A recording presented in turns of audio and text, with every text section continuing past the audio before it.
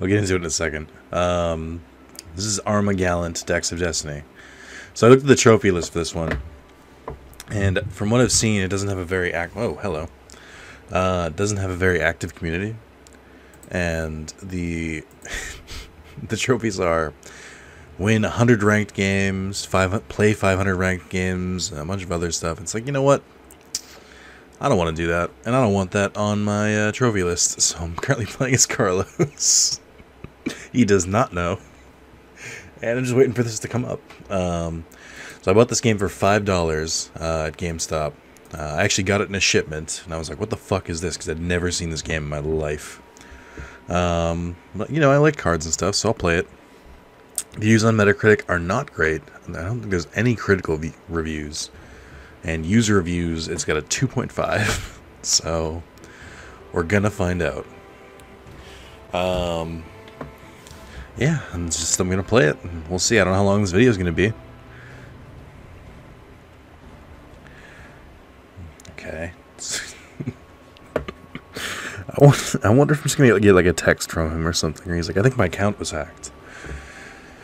I don't know who made this. Let's see i got the case right here Maximum Games Welcome to Armagallant. and Rock Nano Global. tutorial, you will learn about movement and capturing monoliths. To Yeah. begin, let us summon a unit for you. Oh, now God. try moving the Oh, no. Oh, I thought this was a card game. Is this a fucking RTS? God, that's so much worse. Ah. Oh. Blech. Blech. Excellent. Fucking Notice gross. that the unit can also be seen on the minimap, located on the lower left corner. Now, try moving your unit to the nearest to capture the monolith. Move and So- stay within its area. I have a serious question. For people who enjoy RTSs and like MOBAs and games like that, objective is to uh, my question is why? health to zero. like most games, I can sort of see the appeal, and I can this is by sort of see it for this, but just monoliths than your enemy. Seems so boring. This indicates the status of the monolith. Oh my god. Note the change in color while it is being captured.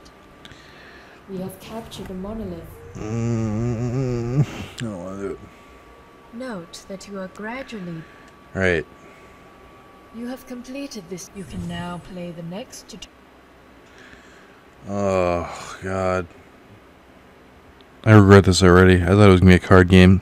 So the reason I wanted to do this was that um Super Dragon Ball Heroes just came out. Uh so it's another card game for Switch and I was like, "Oh, cool. You know, this will be fun. Let me play a card game and try and play it and get used to it." No. No.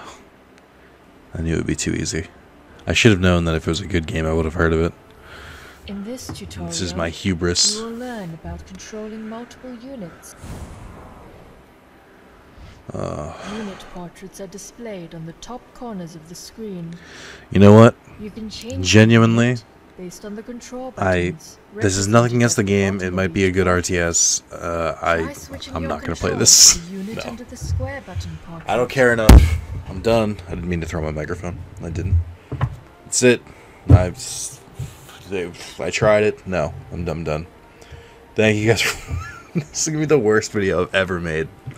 Thank you guys for watching. Um, I'm not gonna play this again. I don't want to play this. Let me know in the comments if you have played this and you're like, "Hey Nick, how come you didn't even get to the burr burr burr?" And I'll be like, "No," and I'm not going to. I don't even know how to like. I'm just stretching it out. No, I'm done. We're we're done.